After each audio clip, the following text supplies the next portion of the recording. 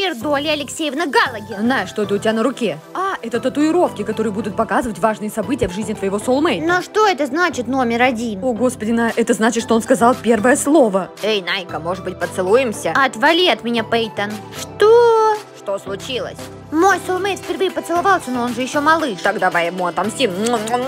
Отвали от меня. Девочки, вы слышали, soulmate на ребенок? Ага, он недавно только первое слово сказал. Будет ему подгузнички менять. Это неправда, он не ребенок, это просто какая-то ошибка. У каждого из вас на руке появляются татуировки, они показывают важные события в жизни вашего soulmate. Получается, мой soulmate тоже все видит обо мне? Только твоему soulmate еще пофиг, он до сих пор на горшок ходит. Мам, слушай, у моего soulmate появилась какая-то шапка. Подожди, это значит, что он закончил университет. Что за бред? Мам, всего несколько лет прошло, он должен был только в первый класс пойти. Ная, какое сегодня важное событие произошло в жизни твоего soulmate? Книга, то ли он впервые ее увидел, то ли ему ее купили. А мой купил себе Феррари, представляешь, наверное, он очень богатый.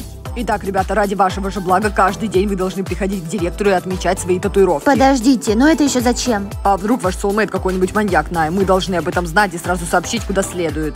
Девочки, а вы знали, что когда ваш soulmate встретит свою первую любовь, то на вашей руке появится красное сердечко? Ого, как здорово! Чего здорово, когда твой soulmate встретит первую любовь, тебе уже сто лет будет. Директор Люцифер, здравствуйте, я пришла отметить метку. Вот. Что?